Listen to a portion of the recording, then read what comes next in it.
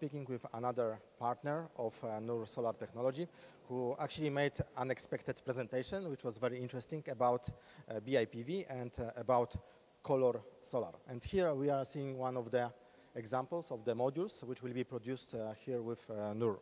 Well, Noor is our partner and they produce for us uh, for this technology which we have developed in Switzerland. Mm -hmm. So we produce the glass and the coating, the solar glass and all the technology. And we needed uh, uh, a high quality producer of panels. We would like all, all the components to be the best possible components.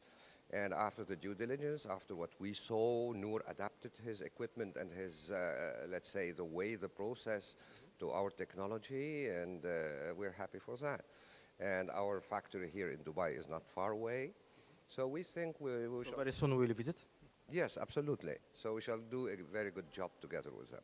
Okay, uh, we had a small chat before the interview, and you told me, you know, that uh, Noor guys, they are very quality guys. And can you explain me what does it mean? Well, you know, with experience, uh, had, had a lot of businesses in my life and so on, and you see uh, that the quality of people comes first. And uh, when I saw how uh, Noor recruited the people, what quality of people they have, it inspires really confidence that the quality would be good. This is where it starts. And then, of course, you have the technical issues, how to adapt it, how so, and it's following very well. But at the end, it's like uh, Michael Belmer says, yes, it's, it's uh, H2H business, yes? Yes, yes, humans. Yes, human to human. Okay, and um, uh, also I would like to a bit refer to your presentation. And I like so much, you know, this approach uh, that you were speaking when, when we speak about BIPV, not only about, you know, the uh, watt peak price, etc., but about the price of the square meter, yes? yes? Because actually this is the most important for the investors, yes? Absolutely. Uh, not only for the investors, but the whole, let's say, concept of building is changing. Mm -hmm. And we have no option. The future has already started. It means when in, in the solar market where you have uh, utility solar farms, so many hectares to make one megawatt and transport the electricity back, or on industrial roofs and then the most, the fastest growing sector is the BIPV, the building integrated. Mm -hmm. Why would you transport the electricity uh, from more and more remote places? The, where the biggest, uh, the biggest loss is on the transmission, actually. Well, you have 8 to 16 to 17 percent loss. It costs a lot. It costs 200 to 300,000 euro per kilometer to, to make the grid, mm -hmm. uh, to transport it. And in fact, you can just produce the electricity where you are consuming it. So the whole envelope, in, in a general way, uh, consult, uh, consulting people, consultants, architects are starting to design the building in a different way.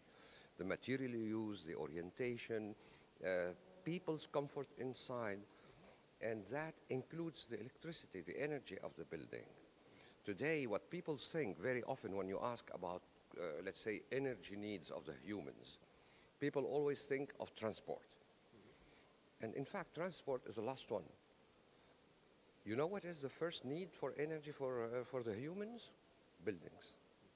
It consumes 45% approximately of the human consumption of energy.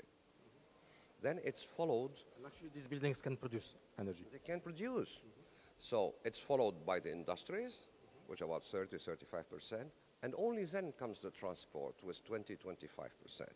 Today, the airplanes, they they consume maybe 1% of the energy of the humans. But the buildings, when you address the consumption of the buildings, you have addressed half of the human needs in energy. So this is what we addressed. How to dress that building in a way that your energy is consumed there, is, is produced there and consumed there. This is what we do. The skin of the buildings.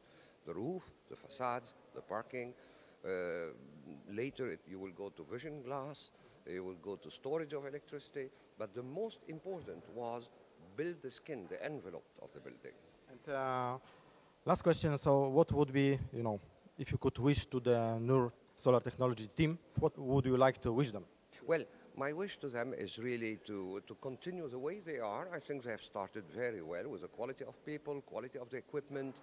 We made a due diligence of everything they have done here before trusting them in producing ours.